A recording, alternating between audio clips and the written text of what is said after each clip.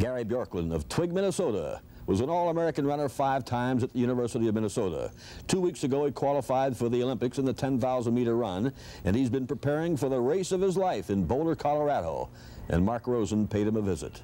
I think every track athlete, from the time that they first put shoes on, dream about the Olympics and, and the possibility of going to the games and competing against the best people in the world. And, and for me, this is, uh, well, I'm very fortunate that now it's reality. Gary Bjorklund's road to the Olympics has been a rough one.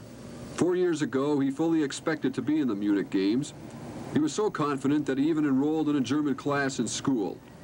But a serious foot injury necessitated surgery, putting Gary out of the games, causing a shattering emotional experience. It really messed me up for a while to uh, to be ranked uh, nationally and internationally, and all of a sudden have that that gone, and, and at a, a tender age really, and. Uh, coming back from that's been a long road, but in the long run, I think it's given me a, uh, many different perspectives on running. It's given me an opportunity to test myself in, in, in different ways than, than I might otherwise have, and I think it's made me much hungrier as an athlete. Gary's healthy now, and at the age of 25 is enjoying running more than ever. One month ago, he was running 120 miles a week in the mile-high air of Boulder. But with the Olympics only a short time away, he's now down to 70. One reason Gary trains in Boulder is the abundance of world-class runners, notably Olympic marathon champ Frank Shorter.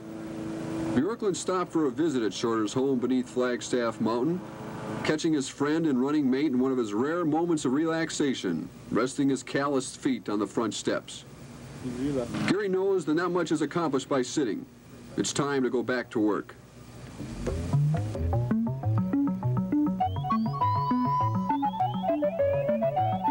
Bjorklund will be a long shot to win a medal in the 10,000 meters. He'll be facing a number of seasoned veterans from Europe, where this event is practically their national pastime. Could he come back from Montreal without a medal and still be satisfied knowing that he did his best? You know, they say that the most important thing is to uh, take part, you know, not the winning, but uh, uh, I think I could be I could be satisfied and content to come home and, and begin a new plan of attack to go back and, and try and win again. Uh, that's, that's really what it's all about.